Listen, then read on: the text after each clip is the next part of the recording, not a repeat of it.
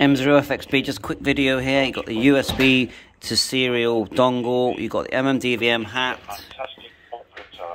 That's how the wires are connected, and we're running Blue DV, and we're on DMR Talk Group 91 using the Blue DV software, just with your normal setup config. And you look, you can see here how everything's connected. The pink and the blue on the left are the live and ground. The yellow and the green is the RX-TX. I'll just show you what it is on the dongle. On the dongle, you've got the 3 volt on as the pink wire.